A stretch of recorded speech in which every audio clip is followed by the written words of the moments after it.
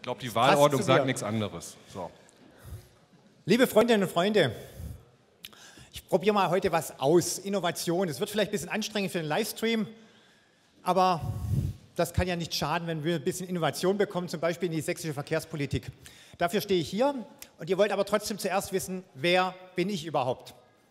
Ich bin der Volker Holzendorf, 47 Jahre alt, verheiratet und habe zwei Kinder. Außerdem habe ich mal irgendwann Politikwissenschaften studiert mit mathematisch-theologischem Profil und bin schon über ein halbes Leben bei Bündnis 90 Die Grünen aktiv. Was ich da alles schon gemacht habe, könnt ihr in der schriftlichen Bewerbung da drüben ablesen. Heute stehe ich hier für die LAG Verkehr, weil wir ähm, mit dem einstimmigen Votum von der LAG Verkehr bin ich ausgestattet und deswegen kandidiere ich jetzt hier für diesen Listenplatz. Was wollen wir da erreichen als LAG Verkehr? Wir wollen, dass die Verkehrswende in Sachsen endlich Fahrt aufnimmt.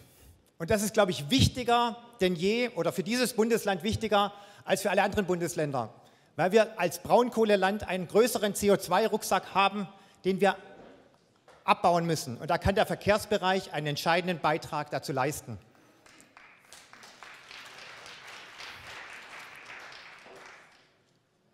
Das gelingt aber nur, wenn wir die Verkehrsplanung in unseren Städten, Dörfern und Gemeinden vom Reifen auf die Füße stellen. Was bedeutet das? Das bedeutet, dass wir zuerst an die Fußgängerinnen denken bei der Verkehrsplanung und die Fußgänger natürlich auch. Dann an die Radfahrerinnen und Radfahrer. Schließlich an die ÖPNV-Nutzer. Da gehört auch Teilauto dazu, Bus und Bahn, Taxigewerbe, Clever Shuttle und wie sie alle heißen. Und dann den verbleibenden Raum, und das wird noch genug sein, für den Autoverkehr, für den motorisierten Autoverkehr zur Verfügung stellen. Der Wirtschaftsverkehr wird sich dann übrigens seine Wege suchen und die gehen beim Fußverkehr los, gehen übers Rad, ÖPNV, die die Güterstraßenbahn in Dresden kennt jeder, der sich mit Verkehrsthema ein bisschen beschäftigt. Und dann machen wir unsere Städte lebenswert und unsere Dörfer natürlich auch gleich mit. Und damit sind wir in Sachsen mehrheitsfähig. Wozu stehe ich jetzt hier oder was, was, wofür stehe ich dabei? Wir alle kennen den schönen Satz, wer Straßen sät, wird Autoverkehr ernten.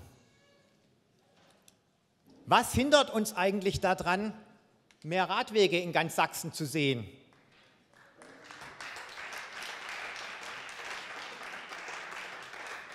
Und Radfahrerinnen und Radfahrer zu ernten?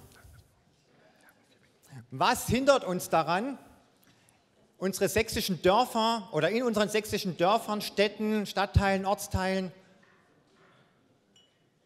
exklusive Bereiche zu haben für Fußgängerinnen und Fußgänger, um Fußgängerinnen und Fußgänger zu ernten.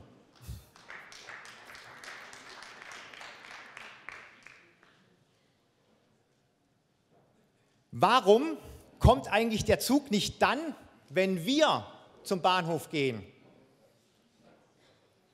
Und kommt, fährt der Anschlussbus nicht kurz danach, nachdem wir am Bahnsteig angekommen sind mit dem Zug. Sachsenweit von 5 bis 23 Uhr. Das ist die Idee des Sachsentaktes. Eva Jenichen aus Dresden hat es erfunden. Katja Mayer hat es weiterentwickelt. Und ich will dabei sein, wenn wir es umsetzen.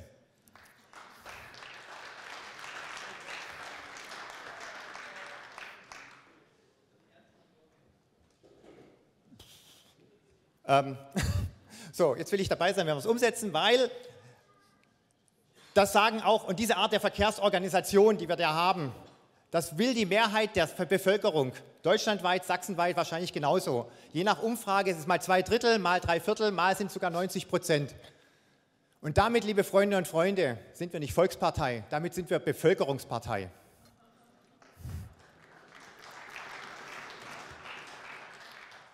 Was kann ich dafür also oder was bringe ich dafür mit? Erfahrung ist das eine und das beruht auf drei Säulen, würde ich mal sagen. Das erste ist Kampagnenfähigkeit. Ich habe in Leipzig eine Petition gestartet für sicheren Radweg in der inneren Janallee, eine ähm, typische Stadtverkehrsstraße. Innerhalb von kürzester Zeit waren 5700 Unterschriften drauf.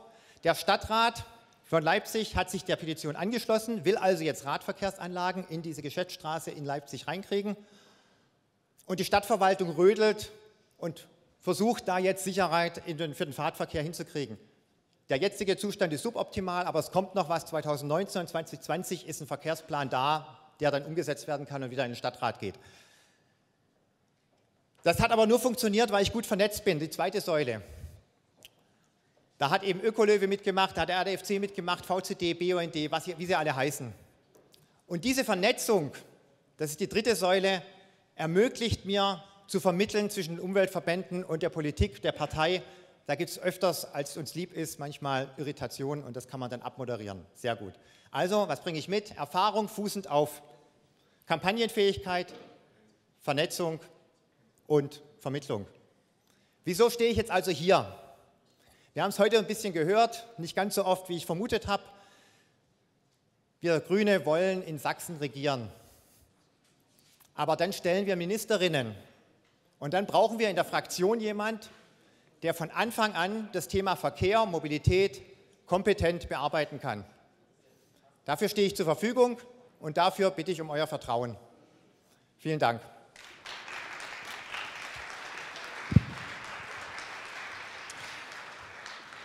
Vielen Dank. Ich glaube, wir haben eine Frage.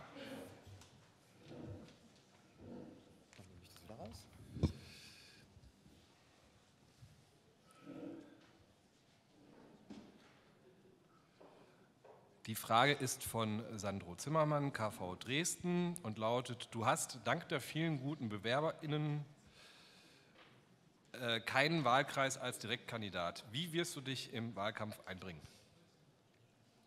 Du hast noch mal drei Minuten.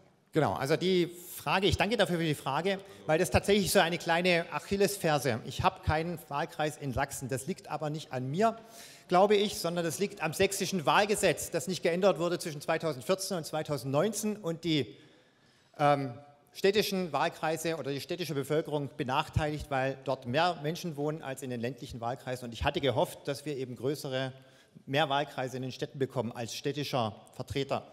Das hat deswegen nicht geklappt. Ist ein bisschen problematisch, aber deswegen bin ich jetzt frei, habe keinen Wahlkreis. Das Verkehrsthema ist aber durchaus ein prominentes Thema im Verkehrs- ähm, oder im Wahlkampf. Wir haben das sicherlich mit Katja in der Spitzenposition ziemlich gut besetzt. Oder nicht ziemlich gut, absolut gut, perfekt, hervorragend.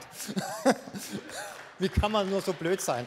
Aber ähm, wir brauchen, das Thema wird wahrscheinlich mehr Anforderungen an Katja stellen, als sie erfüllen kann. Und dafür einen Zweitkandidaten zu haben, der dann eben das machen kann, das kann was Positives bewirken. Und dafür ist es gar nicht so schlecht, wenn man auf der Liste ist, Verkehr betrifft und vielleicht keinen eigenen Wahlkreis bearbeiten muss. Vielen Dank.